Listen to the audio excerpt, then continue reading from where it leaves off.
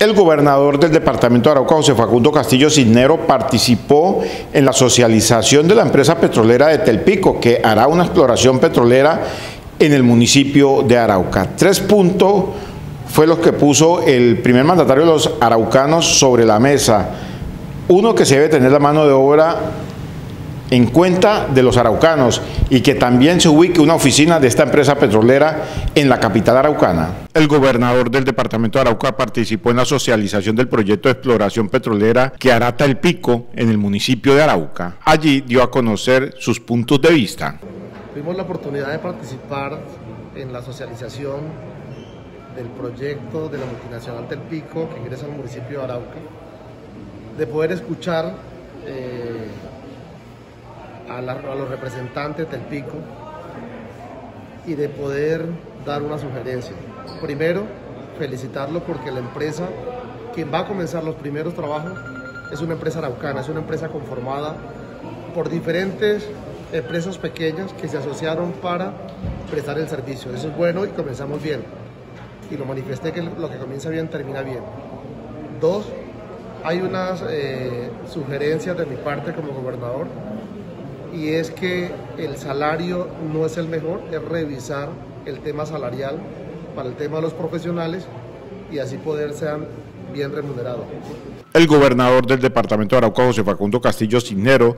le hizo un llamado al representante legal de la empresa Telpico y a los representantes de la comunidad de Arauca para que dialoguen. Llamar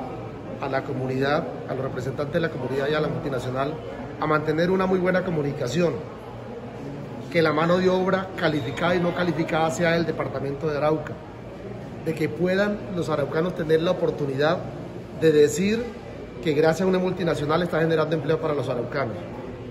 que la inversión social sea concertada con las autoridades locales y con las comunidades para que sean obras que generen impacto para la comunidad y no actividades como pintar una escuela o de actividades individuales que no generan ningún impacto y que no generan desarrollo para nuestra sociedad. Son sugerencias que se han dado, esperamos eh, sean tenidos en cuenta y por supuesto vamos a estar muy atentos para que toda la mano de obra calificada y no calificada sea el departamento de Arauca. Invitar a los profesionales, van a comenzar, por ahora comienzan con una sola empresa, pero van a requerir otras empresas más que se puedan asociar, que estén muy atentos que haya una comunicación fluida entre la multinacional con las comunidades para que podamos participar de todos los sectores o de todos los servicios que va, a ofrecer, va, a necesitar el pico. El primer mandatario de los araucanos también le exigió a la empresa petrolera de Telpico que ubique una oficina en la capital araucana. Decirle también, o fue una de las exigencias, que tengan una oficina en Arauca, que tengan un espacio donde poderse dirigir,